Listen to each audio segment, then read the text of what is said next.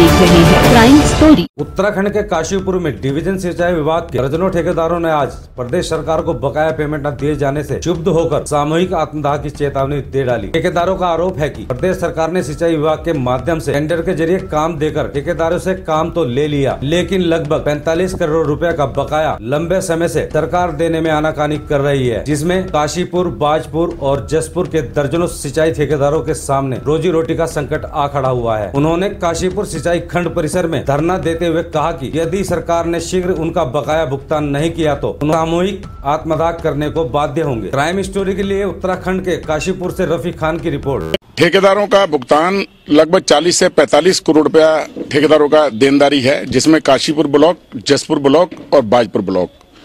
कुछ योजना ऐसी हैं कि योजना ये 15 और 16 में बंद कर दी गई, जिनका लगभग बकाया पेमेंट लगभग तीन से चार करोड़ रुपया उनका बैलेंस है।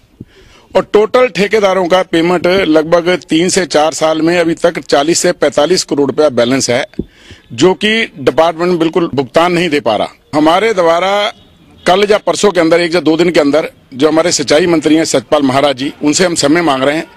बाकी हमने लिखित में डीएम को भी, बाकी जितने भी हमारे अधिकारी हैं बड़े बड़े उनको सूचना हमने दे दी है। हमें हो सकता है कि कल परसों में इनसे समय मिल जाए, इनसे वार्ता हो जाए मंत्री से। मंत्री से अगर वार्ता सही हो जाती है अच्छे ढंग से हमारा वो स्वागत करते हैं, हम उनका स्वागत करेंगे, वो हमारा करें। तो अगर वो सही सलामत हो जाता, ठीक है। नहीं तो फिर हम आके यहाँ पे काशीपुर में धरना प्रदर्शन भूख हड़ताल पे बैठेंगे पहले।